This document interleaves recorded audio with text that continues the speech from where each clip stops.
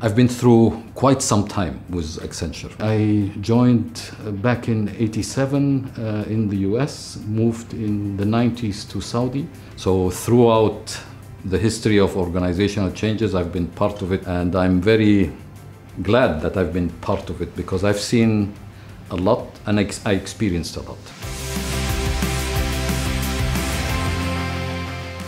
The ability to learn, the ability to learn and to be hungry for everything new. That's down deep in our DNA. There is a big difference of change that happened 30 years ago and that's happened now.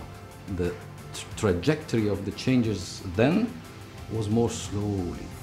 Now it happens so dynamic, so exponential, and your value becomes more